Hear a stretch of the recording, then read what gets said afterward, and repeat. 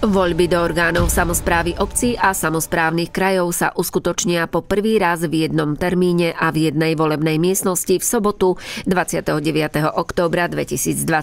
Voliči, ktorí majú volebné právo v meste Bardejov a majú zákonom ustanovené obmedzenie osobnej slobody z dôvodu ochrany verejného zdravia pred ochorením COVID-19 a prejavia záujem hlasovať vo voľbách do orgánov samozprávy obcí a samozprávnych krajov, môžu voliť na na základe žiadosti oprávneného voliča o špeciálny spôsob hlasovania určený zákonom číslo 185 z roku 2022 zbierky zákonov o špeciálnom spôsobe hlasovania. Podľa tohto zákona oprávnený volič musí požiadať o špeciálny spôsob hlasovania zapisovateľa miestnej volebnej komisie sám alebo prostredníctvom inej osoby, a to telefonicky alebo e-mailom v úradných hodinách Mestského úradu v Bardejove najneskôr v piatok 28.